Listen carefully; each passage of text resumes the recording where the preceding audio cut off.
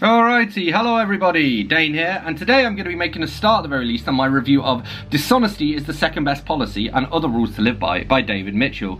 David Mitchell, the comedian from Peep Show and That Mitchell and Webb Look, as opposed to David Mitchell of Cloud Atlas fame.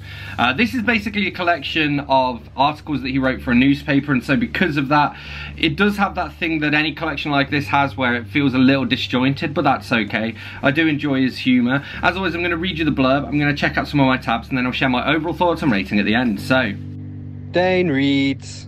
David Mitchell's 2014 bestseller, Thinking About It Only Makes It Worse, must really have made people think, because everything's got worse. We've gone from UKIP's surge to Brexit shambles, from horse meat in lasagna to Donald Trump in the White House, from Woolworths going under to all the other shops going under. It's probably socially irresponsible even to try to cheer up.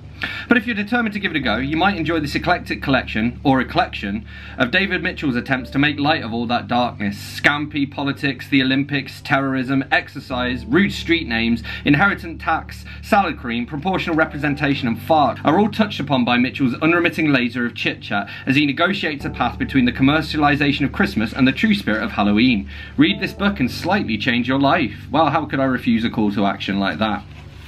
So, let's go to the introduction. So th this made me chuckle because this is extremely relatable to me.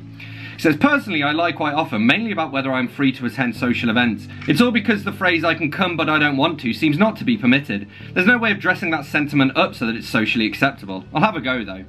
It's so kind of you to invite me and I'm sincerely grateful for the thought but on that day I know I will be tired and would prefer to stay at home. And I very much doubt that you'd really want me to come if I really don't want to myself so if it's okay I won't. And I've gone blurry, I have no idea why. There we go. He quotes Albert Camus who said, fiction is the lie through which we tell the truth. And he talks about alternative therapies and he said, it's often said that a strength of alternative therapies such as homeopathy is that its practitioners, because they're in a private healthcare environment, have time to listen to and express concern about a patient's problems in a way an overstretched NHS doctor doesn't. The listening and concern alone make patients feel better, which is why homeopathy is an ideal treatment for anyone who doesn't quite feel like 100% but isn't actually at all ill. And he makes a good point here, he says, when women try to reverse the effects of aging, it's a way of coping with the patriarchy. When men do it, they're just kidding themselves about death. We got some chat about Matt, Matt Hancock as health secretary, where he talked about, in the UK, we're spending 97 billion of public money on treating disease and only 8 billion preventing it. And they do say prevention is better than the cure, and I've worked on a book called The, the Future of Healthcare, which takes a kind of deeper look at that. And he says here, a recent survey found that 77% of us think that between a male and a female, the male should foot the bill. Of the 1,000 respondents, 73% of the women and 82% of the men said it was for the bloke to get his card out that's talking about paying on dates. Um, and I disagree with that. And uh, Mitchell does as well. He says the most worrying aspect of this is the extent to which research suggests that paying increases men's sexual expectations. That extent is some extent, not no extent, which seems slightly grim. Are there really significant numbers of men who believe that any woman who agreed to dine with them secretly belongs to a strange breed of casual hookers who get paid in meals? At the very least, they must be wildly overestimating the scarcity of food in Western economies. And he talks about people who uh, take photos um, especially when they're on holiday or at concerts and things, and how people say that's a bad thing, you should live in the moment. And he says, I agree that the best way to enjoy a holiday is to unself-consciously be in the moment. But the trouble is, once it's occurred to you to take a picture, whatever you then do is already self-conscious, taking it or not taking it. In fact, you could argue that by that point, it's more unself-conscious to take the photo, rather than to deliberately suppress the urge and stand there, phone hand twitching, telling yourself it's mindfulness. I generally find that tourists who relentlessly photograph their experiences instead of just living them nevertheless seem quite content with their choice. Meanwhile, the Just Remember It Brigade spend a lot of time crossly muttering about other people's camera phones, partly because their view of the waterfall, fireworks, temple, car crash has been obstructed, but largely because the rest of the human race is just incredibly annoying. Neither group is in the moment, but at least the former gets some nice photos. Alright, so a few tabs here because he was talking about veganism. Um, this is actually quite a famous article of his in vegan circles because he makes some very good points. So he begins with, speaking as a meat eater, I find it annoying how many vegans there suddenly are. I suppose a few other meat eaters feel the same. Do you, some meat eaters, if you're really honest with yourselves? I don't know mate, I'm vegan vegan power. He says, I think what I find annoying deep down, and again, some meat eaters, you don't have to own up to this, but it might interest you to discover whether you secretly agree, is the very fact that I can't discount vegans anymore. The thing that's annoying about there suddenly being lots of them is the nagging suspicion that they may be right. When there were hardly any vegans, I hardly ever had to think about that. So he's talking about here, uh, I ought to explain why I'm talking about this now. There's a vegan in the news, his name is Jordi Casamitjana, who's campaigning to get ethical veganism protected as a philosophical belief under the Equality Act. He's calling it ethical veganism to distinguish it from veganism for purely dietary reasons. Some people only eat a vegan diet, but they don't care about the environment or the animals, they only care about their health, he told the BBC. I suppose to him they're like Blairites to a Corbynista, worse than cannibals. Not really, we kind of see it as, as long as you're coming at it from one of the three angles, the environment, your health, or animal rights, it's all good, you know. Going for one of them benefits the other two anyway. Uh, he used to work for the League Against Cruel Sports, but it wasn't vegan enough for him. He says he discovered that the League's pension fund invested in companies that carried out animal testing and was sacked for telling people, which he characterises as being discriminated against for his veganism. The League disagrees, saying he was sacked because of gross misconduct. To link his dismissal with issues pertaining to veganism is factually wrong. The Employment Tribunal that's going to decide this will also rule on whether veganism meets the Equality Act's definition of a belief. According to the Act, it has to be a belief as to a weighty and substantial aspect of human life and behaviour. It must attain a certain level of cogency, seriousness, cohesion, and importance, and be worthy of respect in a democratic society, compatible with human dignity, and not conflict with the fundamental rights of others. I'm loath to admit it, but it totally qualifies, doesn't it? And he finishes here by saying, ethics, practically speaking, are relative. Our ethical compasses are calibrated according to the norms of the time in which we live.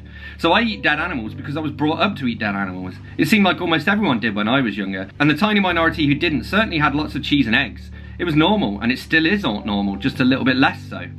It's not uncommon in the history of human societies for things once deemed normal to start being deemed wrong. Sometimes it's something like homophobia, sometimes it's something like openly criticising those in power. It depends on the time and the society. Maybe all these vegans are harbingers of such a change. It annoys me because it makes me worry that I'm becoming a victim of history, just like all the animals I've eaten. So he writes about uh, a letter that some churches send out, basically providing people with religious ways they can celebrate Halloween. Um, so instead of trick-or-treating, he suggests groups of children dressed in hero costumes, along with responsible adults, taking treats to the houses in the community, including a card with a simple illustration and Bible verse. And Mitchell writes, on the face of it, these sound like the lamest ideas since the Amstrad emailer, but think about it. A child dressed as a saint meekly coming to the door and handing out biblical quotations, that's terrifying, that's like an actual ghost. Yeah, good point. And he talks about Brexit and he quotes uh, Richard Dawkins uh, who said, It's an outrage that people as ignorant as me are being asked to vote. This is a complicated matter of economics, politics, history, and we live in a representative democracy, not a plebiscite democracy. You could make a case for having plebiscites on certain issues. I can imagine somebody arguing for one on fox hunting, for example, but not on something as involved as the European Union. This should be a matter for Parliament. And indeed, if it was, we might not be in the mess we're in today. And then he writes about Theresa May. He says, saying she's going to resign is Theresa May's current technique for keeping her job. She says she's going to resign tomorrow in order to remain Prime Minister today. What a committed Remainer but she's taking it one day at a time. She's in recovery from not being Prime Minister, and the first step is admitting her powerless. And then he's reflecting on Trump's election. He says, Maybe he didn't mean what he said. Maybe the Republican Party will restrain him. Politicians never get much done anyway. Maybe it'll all be fine. This either makes me an over dramatizing hypocrite a few days ago, or a, or a reality denying fool now. So I feel lazy, stupid, and humiliated by the disturbance to my complacency, as if someone had burst in while I was eating a cream cake in the bath. And then he writes about MI6 and he says, uh, we know who the heads of these organisations are. We know, for example, that MI6's current C is really called Alex Younger, thus reducing the code name to the same trivial ceremonial level as Blackrod and the Stig. And then finally on uh, the idea of a cashless society. He goes, one might almost suspect it was no accident that the new fiver had animal fat in it. Expect the next £20 to be gummed together with GM crops and foie gras with a picture of Jimmy Savile on the back. And yeah, that's why I do not like having money. That's kind of pushed me towards a uh, a cashless society because it's not vegan to use money anymore. And he writes, this may sound paranoid, credit cards are convenient and most people have nothing to hide. Why does it matter if all our payments are traceable? Just because someone is constantly following you around at a slight distance, it doesn't mean they're going to do you harm. But I imagine those who are constantly tailed really value a few hours break from it now and again. And if asking for such a break, they'd probably be irritated if the response was, why? Looking for a chance to stare at some kiddie porn and plan an act of terrorism, are you? So I can kind of see the arguments for and against the cashless society. I mean, I'm all for it personally. But, you know, I mean, we just need to switch to a decentralized currency, like a cryptocurrency, and then we won't have these problems. But yes, dishonesty is the second best policy and other rules to live by by David Mitchell. I did enjoy this. I mean, David Mitchell is one of my favorite comedians anyway, and he does have like an insightful take on uh, world events. Don't always agree with him, but I, I, I like the way he writes about things even when I don't agree with him. My only real complaint is because of the very format of this. Because it's a collection of articles, it doesn't necessarily flow very well. It doesn't have like a narrative from beginning to end kind of thing. But what are you going to do? That's the nature of the beast, you know? Overall, I still enjoyed it. I gave it a 4 out of 5. So there we have it. That's what I made of Dishonesty is the second best policy and other rules to live by by David Mitchell. As always, don't forget to let me know your thoughts in the comments. Uh, if you've enjoyed this video, hit that like button, hit that subscribe button for more, and I'll see you soon for another bookish video. Thanks a lot. Bye-bye.